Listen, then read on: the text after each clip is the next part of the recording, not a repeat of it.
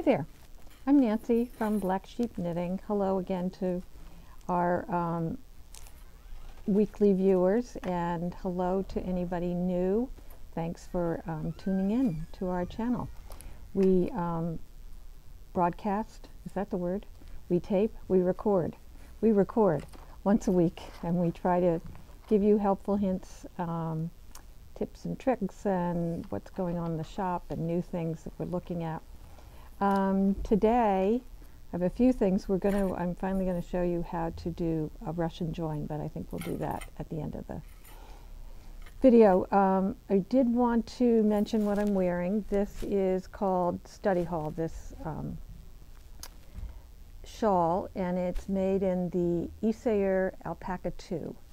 So three colors of that. Um, I think they're, I love these colors together. This is beautiful, lightweight, and it's just um, stranded knitting throughout. It's not hard at all, just an easy triangular shawl that's great for this kind of weather. It's a little chilly outside, so it just takes the chill off. And um, I could, if I were going outside, I could wrap it around my shoulders if I wanted to. I thought that I would show you the finale of the Winslow Tee. And that's, that's this. And if you, you'll, I won't go through the saga of it. You can go back and look at the last two episodes to hear about it. But I had some interesting things happen when I finished, was finishing, and I'm not finished entirely. But here it is. So when I, um, and I'm going to block this because very often when you pick up on a dropped sleeve and if you're doing the amount of stitches they tell you to and I was trying to do what the pattern told me um, you're going to get this sort of weird thing in here kind of bunches. So that will block out. So I'm going to do some nice wet blocking on this. The other thing that happened on this and it could be the the fabric could be me um, I mean the fiber but I did I um, bound off in pattern which um, the way I generally do it is I knit two together through the back loop or purl two together through the back loop. As it happens, I don't like the way this came out. So I'm at the end of this sleeve, the other sleeve, and I'm doing it just in knit, binding off, um, and I can show you the very end and how I end my um, piece. So I'm here. I, what did I do here? Um, I'm right at the end. And if you'll forgive me that we're not doing this so close up, but I have knit two together through the back loop and I slip that stitch back to the left hand needle and then each time I make certain you don't want to split the yarn, which is just what I've done. I pull this out just that much so that I know it's not going to be too tight, and I know that that works. Knit through the back loop, bring this over, bring it back, knit two together through the back loop, and I, again I pull it out the same amount each time, bring it back, knit two together through the back loop. So here I am at the end, and what I would do, and I don't have a scissor, but I would cut it here and then pull this through, and then I would weave it into these stitches to close the gap. So that's how I finish off. So that is the end of my Winslow Tee. Next, I will show you, and if those of you who remember, I was unable to get the yarn that I used for the Winslow Tee. So I looked around, I wanted to get something that was similar. The yarn that I used was um, Katia cotton cashmere. So I wanted to find something that had some cotton and cashmere. And I came up with Baby Cash Soft Merino Sport. And it was in a sport weight. And the um, this one actually doesn't have have cotton. It's wool, 33% acrylic and 10% cashmere. It's super soft and I happen to really love these colors. So when I was thinking, this one I put four colors together. So I thought, what if I did those four, which I think are really pretty. This one is very similar, but a little bit more coral. The other thing, other one I really loved was this. With this is called pickles. This is called pink. This is called silver, and this is called rosy. So I love those. You could switch this out. You could do two or three colors. I also thought with this pattern, because I love this pattern and I think I'm going to do it again, um, you could do a solid color and just do those um, two slip stitch stitches every, I think it's 18 rows or something, or you could make it any number that you want. And again, this is one of those patterns um, that you can do so much with. You can play around. This gives you the idea of different colors. You could do big color blocks, you could do all kinds of things. But if you find a pattern that you like and it fits you, and this one does fit me, um, and I made it kind of short because I want to wear it over a, a, blouse or over a dress, something like that. I could make this longer. Um, I could do a lot of things with it. So those are some options. So these are the new colors. This would be a great baby yarn. It's super, super soft. And it's got that touch of acrylic, which gives it um, a lot of strength. And it's, I just think the colors are delightful. And the cashmere gives it some softness as well. So that's new in the shop. Another new thing in the shop, back again for a repeat, which I did without this for a season, and then, did I have it? I don't know. I didn't reorder it this season when I was ordering for summer yarns. And then I thought, I have to have this because I love it so much. This is Juniper Moon Zooey or Zoe. I don't know how they pronounce it. But anyway, look at these colors for summer. And um, I did, you can see, we did some scarves that had some, um, several colors in them. You can come in the shop and see those. I've done a sweater in this color, and Agnes just bought this to make a dress, believe it or not. And so it's 60% cotton, 40% linen. It's very soft. I have a sweater at home in this color. And I just look at these, the, all the colors look fantastic together on their own. And I have over here, Robin, if you can look over here, it's a sweater that I did last year called Aknaha. Aknaha. And I'm going to pronounce it wrong. It's probably a Scottish word. It was um, and don't look too closely. There are some mistakes in the lace, but I thought, what the heck. Um, but this is a pattern by Kate Davies, the amazing Kate Davies from Scotland. And she, her patterns are so well written. They're so beautiful. So this was a perfect yarn for this. And this is something that I'm sure I will wear a ton going on vacation this summer. And I'm sure, that, sure that's going to find its way in my suitcase. So any one of these colors would be just fantastic for this. So I recommend it. It's lots of fun. And those of you who can't do wool um, but want something that has a little bit of tooth to it, a little bit of warmth, it's great. I have another sweater at home, not in this yarn, but a similar blend of cotton and linen. And I just throw it in the washer and wash it. I usually put it on gentle cycle, but I think it would be fine on regular cycle. And it's, it's just great. Um, comes out beautiful every time. Looks brand new. Nothing happens to it. So a good one for the summer. Wanted to show you something that came back into the shop. We were running out of them. Knit blockers, if you don't have knit blockers, you're missing out. These are, and if you can see up close, you can see the little needles on the end of it. Um, and these are for blocking sweaters, scarves.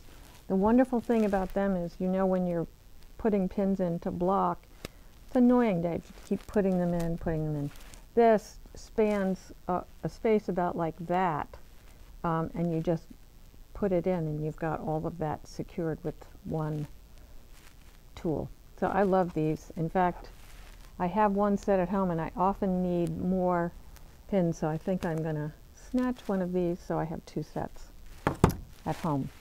Then I wanted to show you a new color, excuse me for leaning over like this. Um, so we have two new colors of spin cycle that I thought I would show you I've dyed in the wool. And this one, I just think this is gorgeous. It's called Big Sky. And it's got these pinks and greens and limes. So I was looking and thinking, well, what would be fun with that? And I looked at Moondrake is a sport weight. They're um, soft sport. This one's called Flamingo. Can you see a sweater with that? One of the Andrea Mowry ones or others that other colorwork sweaters, this would be great. And this would be the solid and this could be the colorwork.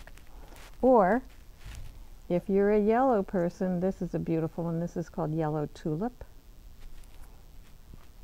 and this one and they're not kidding when they say soft sport this is so soft this is called electric pink candy and I love this one um, so that's new in the shop the moondrake isn't new but this is a new colorway for us and another new one for us is called dream world and this is a deep deep green with some burgundy and lighter blue and I just picked grabbed these because I thought this would make a really fun um, shift cowl. So that's that. So I'm going to do, um, the next thing I'm going to do is a demonstration of um, Russian join. So a Russian join is um, a way of adding a new color or adding more um, yarn if you run out of yarn without having to weave in an end. Um, and sometimes you just want to do it that way. Um, you would do it in place of spit splicing. A lot of people do spit splicing, but if you have two yarns that are not, like suppose you have superwash yarn, you can't spit splice that. You need to have yarns 100% um, animal fiber, non-superwash, so that um, the pieces will felt. But even when you do spit splicing, sometimes you could end up with kind of a light lump. So this is another um, another way of um, joining two yarns, and I showed um, a couple weeks ago Magic Knot. This is another one. So you need to have um, a very sharp needle because what you're going to do is pierce through the um, plies of the yarn. So I'm going to take my yarn and kind of try to loosen up the plies a little bit, winding it in the opposite direction.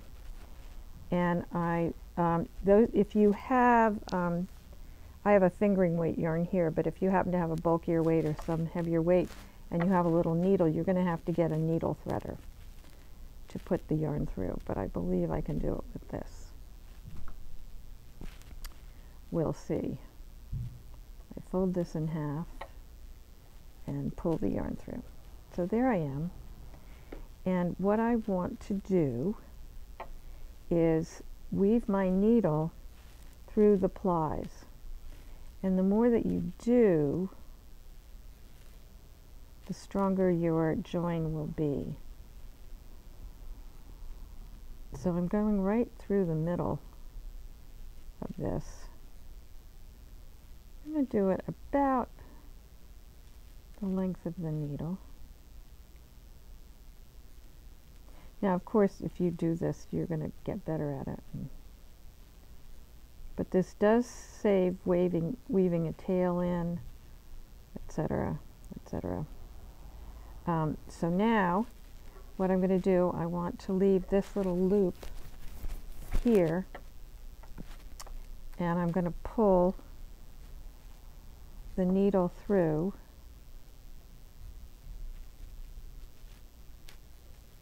thus pulling the yarn I hope she said through what I want which is not happening is for the tail to go through ay ay ay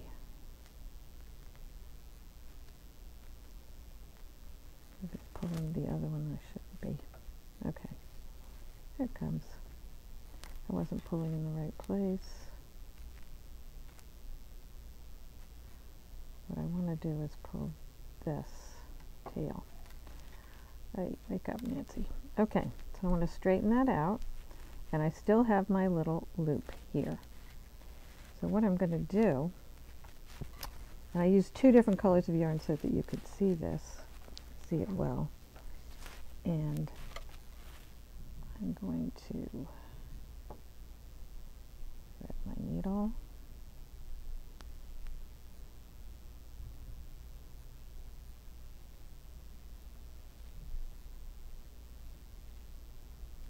Helps Nancy if you pull the right one. Okay. And I'm going to just loosen up the plies a little bit and I'm going to go through before I do that don't forget to go through this loop okay so now I'm going to start weave through here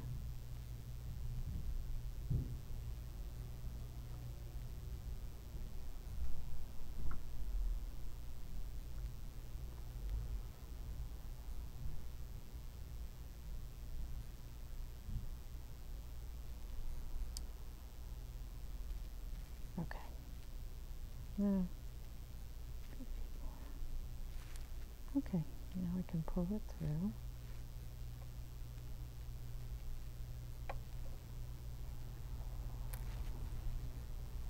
So then, here we have the Russian join, but you still have these um, little, just that little hole there they loop and you want to get rid of those so pull just a little bit. A little more on the pink.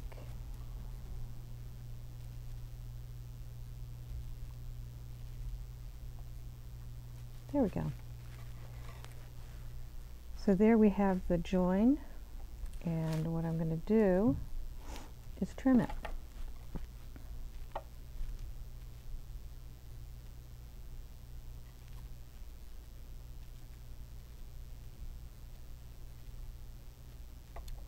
trim it a little more. And when you trim things, particularly if you're weaving in yarn with a woolly yarn, you can kind of rough up the edge, the end of it, the tail of it, so it doesn't go back through. Like if you're doing, um, if you're um, weaving in ends, near yarn. I always do that. So anyway, there's my join. You can trim it even further if you like. There you have it. So I'm sure people, some people will say I'm not going to bother. Other people will think, oh, this is the neatest trick. So you don't get, you're only slightly thicker where the yarn is, but not terribly.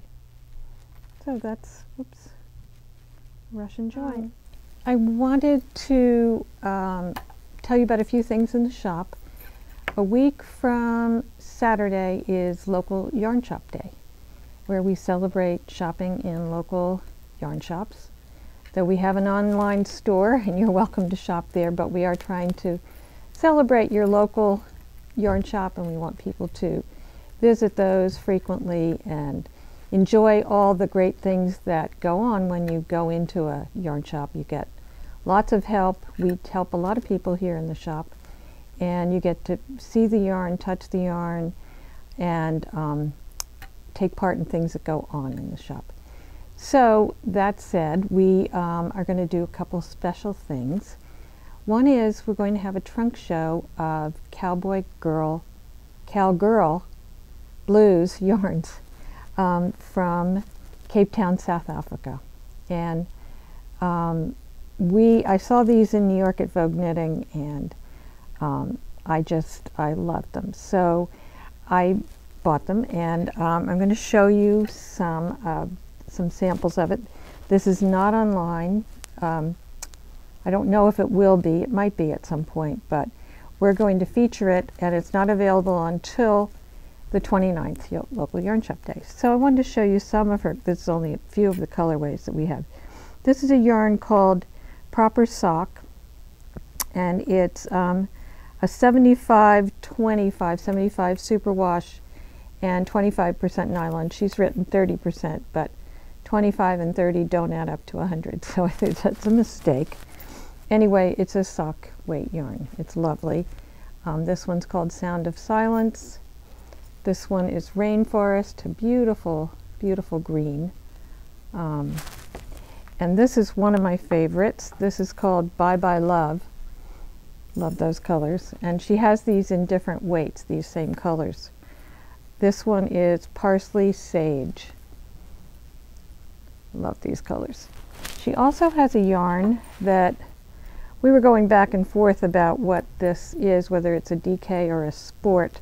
I think it's somewhere in between. And um, this one is called Brenda Fassie. That must be somebody in maybe in South Africa.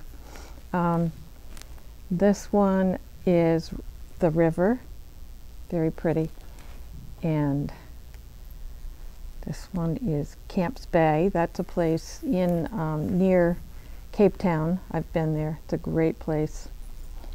And finally, this one, we have other colorways, but this is called Born to Run. And this one, the colors in this I just think are so fabulous. So some other yarns that she features are, I don't have a ton of these, but boy are they gorgeous. This is a silk mohair.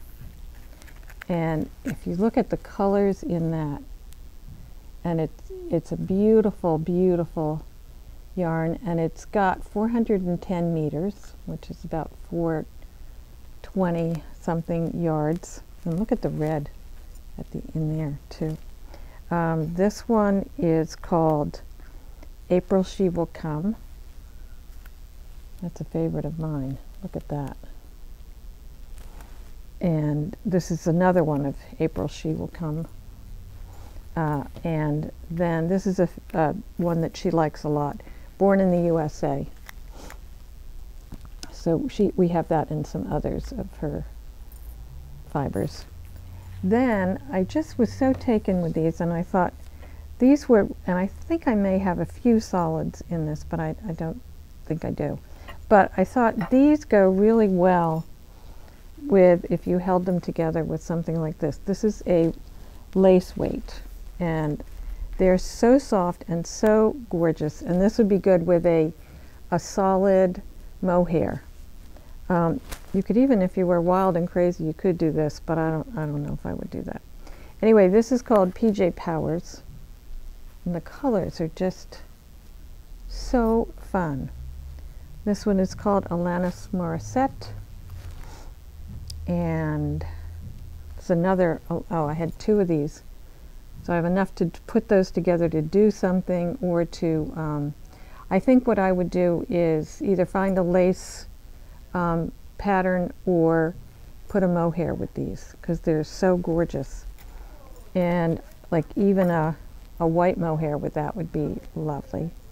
This one's called Happy Days. And isn't that happy? And lastly, I have Tambourine Man, which is predominantly white with speckles in it. So we have that to look forward to on um, local yarn shop day.